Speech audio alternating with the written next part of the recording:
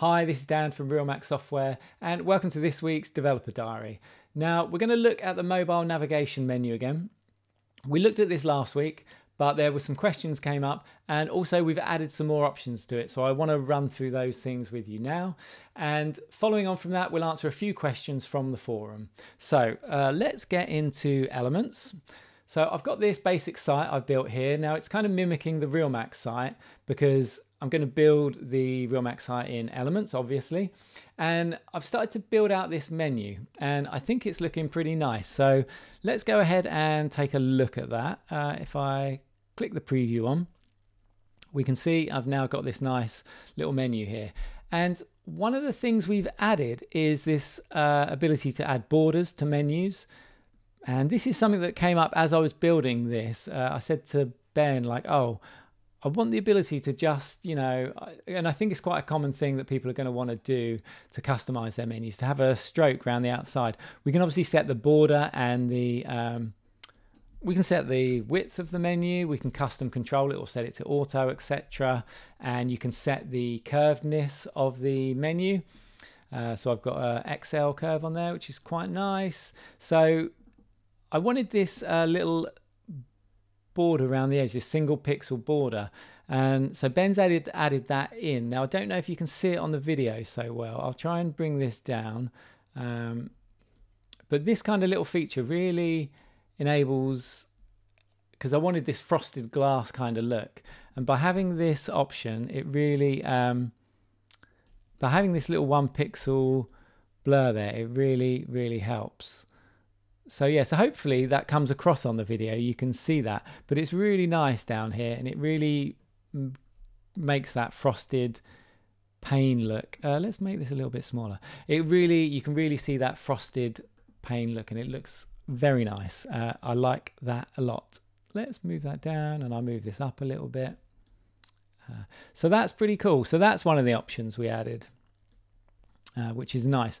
And also, we talked about having this drop zone here last week. So there's a drop zone at the bottom of the menu. And as I was using this, I kind of found, well, actually, maybe sometimes I want to put things at the top of the menu, uh, like another call to action or a banner, some text. And so we've added another drop zone there. I don't think I'm going to use it on this site, but it is very handy. So if I go over here, I can take a heading and I can just drop it straight in there. Uh, let's uh, we'll just call this menu here. And we can change the font and we can change the size. So you know uh, you could put anything up here. You could any of these elements you, know you could build a whole website in the menu if you wanted to all the layout options and whatnot. Uh, so so yeah so now that really gives you the flexibility to um, yeah to to put whatever you want in the menu. So and you can switch these on and off very easily.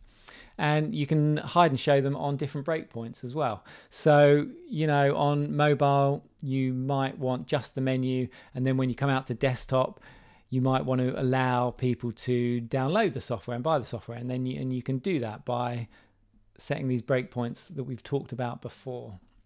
So all right.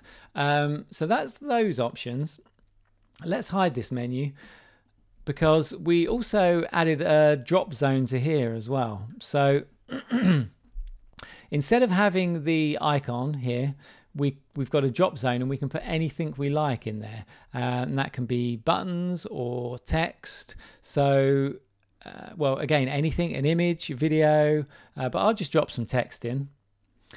Um, and we can say menu again and uh, probably let's make that white so we can see it. And menu uh, change the font and let's make it smaller. So now uh, let's go over to preview. And now I've got this text here and when I click on it the menu appears. And you know this can be anything. This is just a drop zone and you can put whatever you want in there. So if you want if you've got a graphic you want to put in um, a photo any icons you want, buttons, whatever, you can pop it in there and then that becomes then that becomes your uh, menu item. But I prefer just having this, the little hamburger menu, so that's great. You can set the size of it as well, things like that. There's lots of uh, lots of options in here.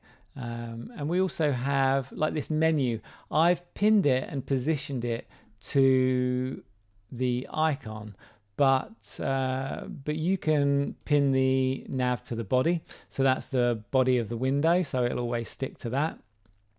And I've got this offset here. Uh, so if I set that to zero, you can see it's butted right up against the edge, 11 pixels, you know, but I could come in more with that if I wanted to.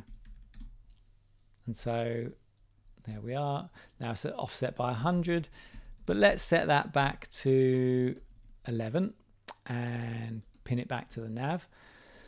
So that's cool. Um, so yeah, so it is really flexible. There's just so many options in here to really configure this and get the menu looking how you want.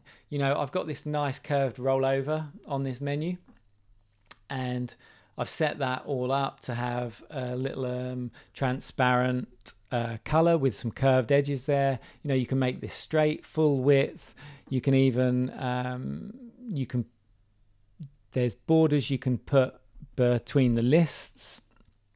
Um, so here, uh, let's you know, I can. Uh, ooh, oh, where did that go? Uh, yeah, well, there we are. Um, yeah, I can change these to dashed, and we can change the thickness, and they're a little bit curved at the edge because my rollovers are curved. But if you want those straight, I would just take off the the curve. So yeah, so it's really you know you can spend a long time playing around with this and getting it looking just how you want. So, one of the other questions we had in the forum, people were talking about they wanted a uh, a sticky menu, but sticky on scroll. So we've added some options for that, and we were looking at this anyway to have a fixing, and it was like, yeah, yeah, that's easy. We'll just do that. And then once you start getting into it, you think, ah, okay, well, there's actually a lot of options involved here and a lot of nuances that aren't obvious when you start looking at a problem. So let's go through those now. Uh, and you can see what we've come up with. So um, let's turn this off. So right now we've got the positioning of the menu on static, and that means wherever you place it, that's where it's going to stay, and it's always there.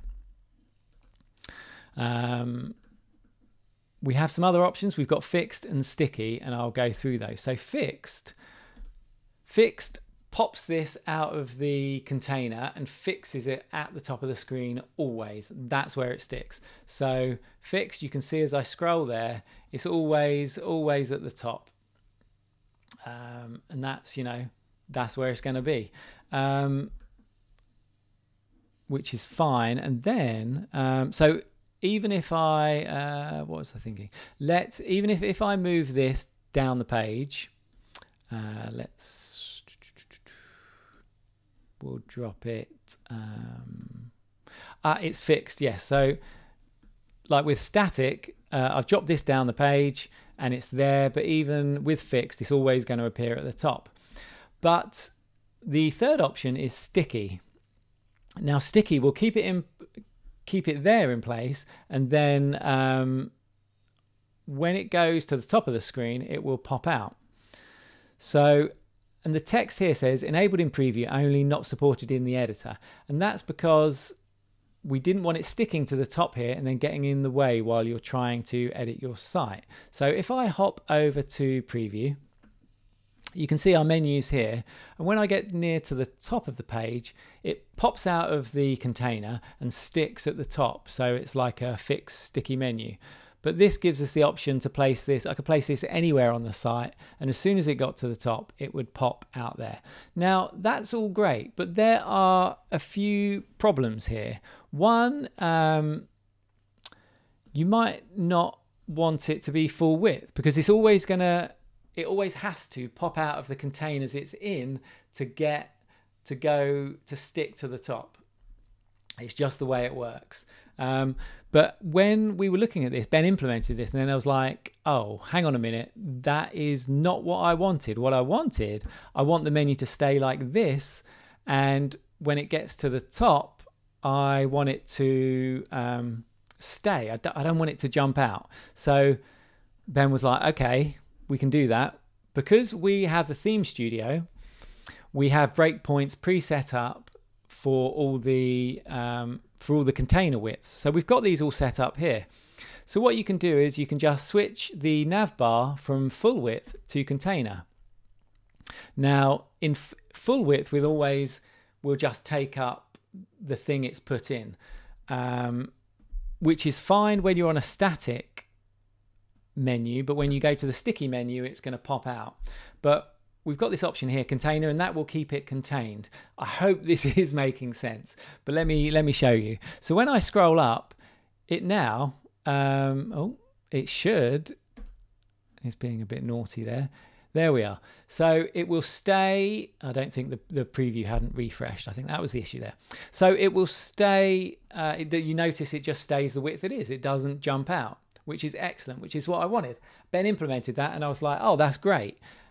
And then he's very used to this. And then I was like, well, that is cool, but I don't want it bunched up at the top of the screen. Like that's not, you know, I, I want it to stop there. So it's got some breathing room around it, you know um because it doesn't it doesn't look so great if it's like that so um he said fine yeah what you need is some offset so what we can do uh let's uh i'll set it to 30 and now uh now when i scroll down you can see it stops just away from there. So you know we can put that to 100 and if i scroll down it stops right there which is very cool. So 10 boom.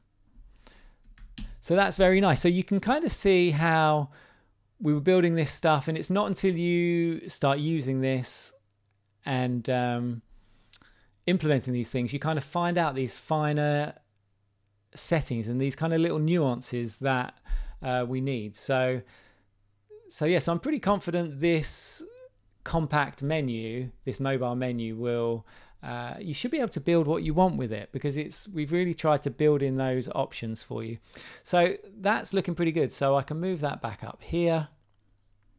And that's nice. So now I scroll down and it stays. That is great. Uh, but I'm actually I'm actually going to stick that back on static because that's uh, let's update that because that's that's how I like the site. Um, yeah, so those so that's what we support there. Sticky fixed static, fixed, and sticky. So hopefully that will cover your needs for the mobile menu. Uh, just before I finish up on these, so this menu here, we're calling this the compact menu because we didn't want to call it a mobile menu because we don't think that's fair really because I think a lot of desktop sites and a lot of users want to use this menu across the board. They don't want to they don't want to change it. They like this and this is the menu they want for all the sites and you don't really need to limit it to mobile. This works for anything. So this is the compact menu and compact will always appear in a popover. And then Ben is currently working on the expanded menu which is a more traditional menu that runs along the top with drop downs. Uh, so you'd have your main so you can see uh, similar to the Realmac site now, so you have your main headings at the top and you can scroll between them. And the beautiful thing about the way Elements works and our breakpoint support is that you can choose, you can build these menus, you can have them in the site, and you can hide and show them at different breakpoints. So if you want this compact menu on uh, mobile, on these two here, you can do that. And then when you come up to uh, larger sizes like the iPad and the desktop, you can switch to the expanded menu. Now, um, Ben's still working on the expanded menu. Hopefully, I'll show you that next week and we can kind of go into what that looks like and the options there. But that is shaping up really nicely as well. So, yeah, so that's the menu um, or the compact menu. Hopefully that covers all the things you want to do. If you didn't watch last week's video, do go and watch that because then it, it shows you how flexible the menu is and how you can create dramatically different looking menus um, just from this one element. Okay, right, let's get on to answering some questions. So we'll go to the forum. Uh, now, I only asked for questions yesterday, 21 hours ago, as it tells me. So we've got a few here, not too many, um, and I'll do my best to answer them. So, uh, Rollis Size says, Will everything you demo be included in Elements or will add ons need to be purchased? For example, the grid functionality, is that built in or is it an add on to be purchased? Well, uh, the good news is the stuff we're demoing here should all be built in. We think it's pretty essential that users can get elements and they can build a completely static website straight out of the box. You know, you want to be able to take this and build a site like the Realmac site, lots of pages, submenus, graphics, videos, you know, the works um, out of the box. We don't. This is what RapidWeaver from the very beginning, from 20 years ago, this was the idea. You buy the app and you can build a website and you don't need any specialist knowledge. That has always been RapidWeaver's MO. So um, Classic still does that and it uses themes. Um, but what we've seen over the last 10 years, we've seen more and more online site builders come about and more desktop apps um, that allow you to WYSIWYG build things. And, and, you know, and that is clearly where Elements is. And that is what you currently have with, you kind of have it with RapidWeaver Classic. Um, stacks and then a framework. But that is the problem is that is very very complex to get into and very expensive. And this is what we're finding that it's a very what was supposed to be an easy piece of software and RapidWeaver is it's quite a high bar of entry if you want to start building these sites uh, because you need RapidWeaver, which is probably $80. Then you need stacks, that's $60. Then you need a framework, which is $100. Um, and so, you know, you're already pushing on $250 here, and people often buy more um, stacks and things. And before you know it, you know, you're at 300 plus dollars. And this is just to build a website. And we don't think that's, you know, that is very high price that and we don't think and it's very complex for users so elements is our way of um, kind of building the future, taking what we built with RapidWeaver 20 years ago and bringing it bang up to date and and then some really kind of building for the future. So these things, of course, they're going to be built in. Of course, you're going to be able to use a flex box, a grid, a section, all these things here, like a video, a gallery, that stuff's going to be built in because that is the basics of a website. Without that, you can't build a website. You know, if you're shipping an app that doesn't have this stuff built in, if you're shipping a website builder without this stuff built in, that's not a website builder. That's, you know, that's a shell of an app. You're going to need, you need this stuff to um, remain competitive with everything else out there. So this stuff will be built in. There will be third party elements, third party add ons that you can buy to add extra functionality because there's no way we are going to be able to build every scenario, everything to cover all the bases, what you could ever dream of. That's just impossible. No web design app does that. You just it's too much. Unless you're hand coding it and then you can build what you want there's the the options are too numerous and there's too much stuff. So there will be third party add-ons and there will be some um, advanced add-ons from us as well I'm sure in due course that cater to niche markets, things that don't really make sense to include in the main app. Um, okay, so I hope that answered that question feel free to reply or come back with another question and I'll answer it next week. So, uh, Brian's got a couple of questions, and these are um, tough questions. Uh, I don't have such good news about these ones. So, his first question is I'd be quite interested to hear anything about creating, publishing collections or content, i.e., blogs, audio, video, podcasts, and feeds within a site made with elements. So, for the beta, we are focusing on building static websites. We want to let users do that. We want to be able to build a complete static website out of the box, boom. That is the goal. We so you won't be able to build we won't have the tools built in to build a blog or um, feeds yet. But we have started working, and this was quite a while ago. We started working on uh, this little icon. You'll notice I never press this when I demo, and this is our data editor. And that is very, very special. I have not, what we're doing with data, I've not seen any other app do it. And it's going to be really special the way it is tightly integrated into elements. It's going to, um, I don't want to go too over the top, but it will blow everything else away. It is very special, and we've already got it working to uh, a phenomenal standard and it really it's really really going to be powerful. So it will let you do those kind of blogs those um, collections of things. It's very flexible going to be super stuff and it's really going to make elements stand out even more than it already does.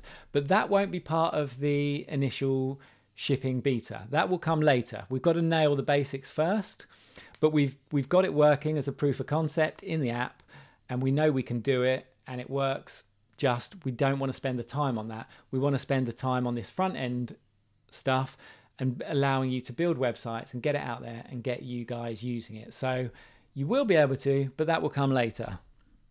Um, I think this is a bit of a follow on question. He also says, I'm also curious as to how things such as breadcrumbs and pagination work with collections in elements. So I presume he's talking about these collections of items, blog posts, and things like that, rather than because we have a gallery, but the galleries, the galleries that are generated from folders and data um, sources, that is that uh, does not have any pagination at the moment. So it's all kind of well, uh, some of the views do, but there it's all single page. It's not over multiple pages. It's all um, a carousel or things like that.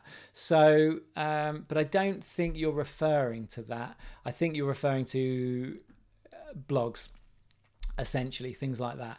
Um, of course, we'll make the data work and, and it'll we'll make it work with pagination, like if it needs it, uh, if you've got a lot of items. Um, but that further down the road, I think that answered your question. If it didn't, again, reply back and um, and I can reply here or uh, in next week's video if you want me to go into more detail or I got the wrong end of the stick there. But um, hopefully that answered it. Good. All right. Um, yeah, that's it for this week. I hope that's brought you up to speed in where we are. And next week, I'll probably be demoing the expanded menus and how that works at breakpoints, etc. So do let me know if you have any questions in the meantime. And I hope you like where we're headed with elements because, again, I'm super excited about all this stuff because it is really shaping up. And I really can't wait to ship it and get it into your hands. So, all right, Thanks for watching this as always, and I will see you next week. All right, cheers, bye.